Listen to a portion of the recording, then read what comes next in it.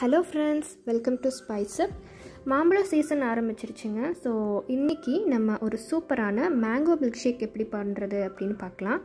So இந்த milk shake பண்ணுறதுக்கு நான் ரெண்டு பழுத்த மாம்பழம் எடுத்து வச்சுருக்கேன். மாம்பழம் வந்து நல்லா பழமாக இருக்கணும். அப்போ தான் மில்க் ஷேக் வந்து நல்ல டேஸ்ட்டாக வரும். அது இல்லாமல் வந்து கொஞ்சம் நட்ஸை வந்து கிரேட் பண்ணி வச்சுருக்கேன். நல்லா பொடி பொடியாக வந்துட்டு கிரேட் பண்ணி வச்சுருக்கேன். நான் இன்றைக்கி வந்துட்டு செந்தூரா வெரைட்டி மாம்பழம் எடுத்திருக்கேன். நீங்கள் உங்ககிட்ட என்ன வெரைட்டிஸ் இருந்தாலும் பரவாயில்ல. நல்லா பழமாக இருக்கான்னு மட்டும் பார்த்துட்டு நீங்கள் மில்க் ஷேக் போட்டுடலாம். செந்தூரா வந்துட்டு எனக்கு தெரிஞ்சு இருக்கிறதுலையே ரொம்ப ஸ்வீட்டஸ்டான மாம்பழங்க. மில்க் ஷேக்கு ஜூஸ்க்கு அப்புறம் நார்மலாக சாப்பிட்றதுக்குமே வந்துட்டு இது ரொம்ப ரொம்ப ஸ்வீட்டான மேங்கோ ஸோ அதனால் இதை எடுத்திருக்கேன். ஸோ இப்போ இது நல்லா பழுத்திருக்கு.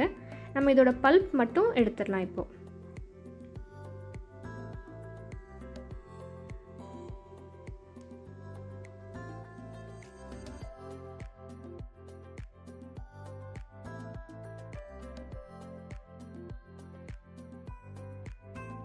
உங்களுக்கு பார்த்தாலே தெரியும் இது எவ்வளோ பழுத்திருக்குன்னு. இந்த இந்த ஸ்டேஜில் நீங்கள் மில்க் ஷேக் எடுத்தீங்க அப்படின்னா தான் இது வந்து இன்னமும் ஸ்வீட்டாக நல்லாயிருக்கும்.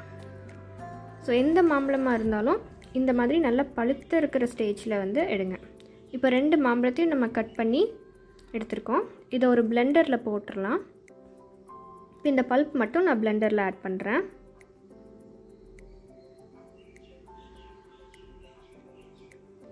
ஆட் பண்ணியாச்சுங்க. இப்போ இது கூட வந்துட்டு ஒரு கப் அளவுக்கு பால் சேர்த்திக்கலாம். நம்ம இன்றைக்கி தண்ணி எதுவும் சேர்க்க போகிறதில்ல பால் மட்டும் வச்சு இந்த மில்க் ஷேக் போட போகிறோம் அப்போ தான் உங்களுக்கு அந்த ஒரு க்ரீமி டெக்ஸ்சர் அப்புறம் வந்து டேஸ்ட்டும் நல்லாயிருக்கும் ஒரு கப் அளவுக்கு பால் சேர்த்தியாச்சு. உங்களுக்கு எவ்வளோ வந்துட்டு டைல்யூட்டடாக வேணுமோ அந்தளவுக்கு பால் சேர்த்திக்கோங்க. இப்போ சுகர் வந்துட்டு நாலு ஸ்பூன் சேர்த்திக்கலாம். மேங்கோவோட ஸ்வீட்னஸ்க்கு ஏற்ற மாதிரி நீங்கள் சுகர் அட்ஜஸ்ட் பண்ணிக்கோங்க. நான் இன்றைக்கி ஒரு நாலு ஸ்பூன் மட்டும் போட்டு நல்லா பிளெண்ட் பண்ணிடுறேன். இது வந்து கொஞ்சம் ஃபைபர் கண்டென்ட் அதிகமாக இருக்கிறதுனால பிளெண்டிங் வந்து நல்லா ஸ்மூத்தாக பண்ணிடுங்க. உங்களுக்கு தேவைப்பட்டால் இதை ஃபில்ட்ரு கூட பண்ணிக்கோங்க. இன்றைக்கி நான் ஃபில்ட்ரு பண்ணல. ஸோ இப்படி ஒரு க்ரீமி கன்சிஸ்டன்சியில் பிளெண்ட் பண்ணி எடுத்தாச்சு. இப்போ இது கூட வந்துட்டு நான் uh, கிரேட் பண்ணி வச்சுருக்கிற பாதாம் அப்புறம் பிஸ்தா அப்புறம் கேஷ்யூ இதெல்லாமே வந்து ஒரு கொஞ்சம் கொஞ்சமாக ஆட் பண்ணிக்கிறேன். இதெல்லாமே போட்டு பிளெண்ட் பண்ண போகிறது இல்லைங்க. சும்மா அப்படியே ஸ்பூனில் மிக்ஸ் பண்ணி விட்டுக்கலாம். அப்போ தான் நம்ம ஜூஸ் குடிக்கும்போது ஒரு க்ரன்ச்சி ஃபீல் கிடைக்கும். நல்லாவும் இருக்கும். அவ்வளோதாங்க நம்மளோட டேஸ்டியான மேங்கோ மில்க் ஷேக் ஈஸியாக ரெடி ஆகிடுச்சு இது கூட வேணும்னாலும் நீங்கள் ஐஸ் க்யூப் ஆட் பண்ணிக்கலாம். இன்றைக்கி நான் ஐஸ் க்யூப் ஆட் பண்ணல. ஸோ நம்ம இது மேலே வந்துட்டு ஒரு கட் பண்ணி வச்சுருக்கிற பீசஸையும் சேர்த்திக்கலாம். ஸோ இதை வந்துட்டு டாப்பிங்காக ஃபைனலாக வந்து டாப்பிங்காக இன்னும் கொஞ்சம் கிரேட்டட் நட் நட்ஸை போட்டு நம்ம சர்வ் பண்ண வேண்டியது தான் ஸோ ஒரு சூப்பரான குயிக்காக செய்யக்கூடிய மேங்கோ மில்க் ஷேக் ரெடி ஆகிடுச்சிங்க நீங்களும் ட்ரை பண்ணி பார்த்துட்டு எப்படி இருக்குது அப்படிங்கிறத சொல்லுங்கள்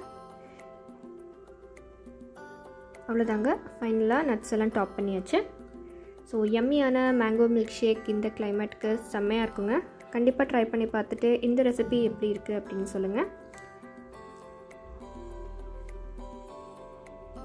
இந்த வீடியோ உங்களுக்கு பிடிச்சிருந்துச்சு அப்படின்னா மறக்காமல் லைக் பண்ணுங்கள் ஷேர் பண்ணுங்கள் எங்கள் சேனலுக்கு சப்ஸ்கிரைப் பண்ணுங்கள் தேங்க்யூ ஃபார் வாட்சிங்